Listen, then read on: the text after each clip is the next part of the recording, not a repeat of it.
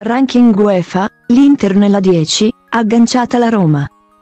Roma a un passo dalle migliori 4 nel torneo dei sogni e con entrambi i piedi nella top 10 del ranking UEFA.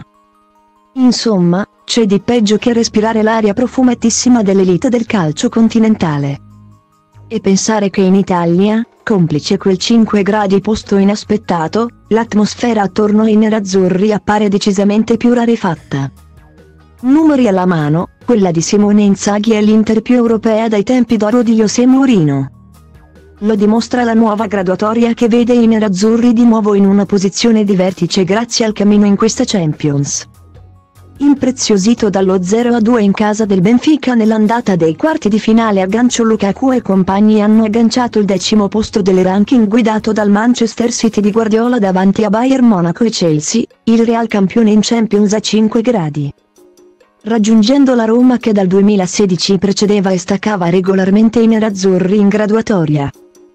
Ora sono tre le italiane in top 10, con la Juve ottava e anch'essa protagonista di un balzo in avanti grazie alla vittoria contro lo Sporting. Allegro ora è appaiato al Barcellona. Tornando al cammino dell'Inter, in questa stagione sono 22 i punti raccolti.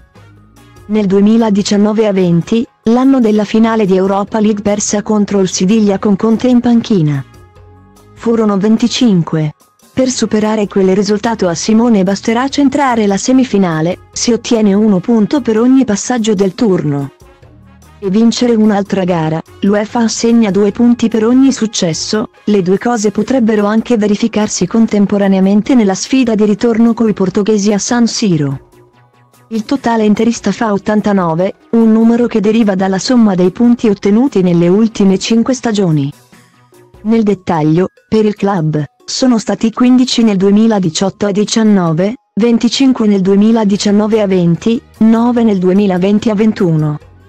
18 nel 2021-22 e, appunto, 22 grazie a questa cavalcata europea dopo 10 anni l'Inter è tornata tra le migliori 10 del ranking a un decennio esatto dall'ultima apparizione.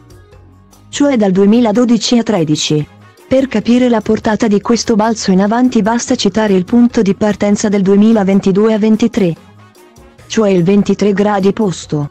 La scalata di Simone partirebbe in realtà dal primo momento in cui si è seduto su quella panchina che, Nonostante tutto, non smette mai di scottare, a luglio del 2021 l'Itri Inter era 26esima. Posizione che oggi occupa il Lione, settima forza della Ligue 1. Oggi le squadre della Serie A in graduatoria UEFA sono 9. Cioè tutte quelle che hanno partecipato alle coppe negli ultimi 5 anni. E dopo Juve. Inter e Roma, più staccato troviamo il Napoli, ventesima con 80 punti. Seguono per l'Italia. Nell'ordine, Atalanta, 28esima, e Milan, 35esima. Anche i rossoneri hanno avuto una crescita notevolissima. 81 gradi posto nel 2019 a 20. 53 gradi nel 2020 a 21, 45 gradi un anno fa e oggi è un passo dalla top 30.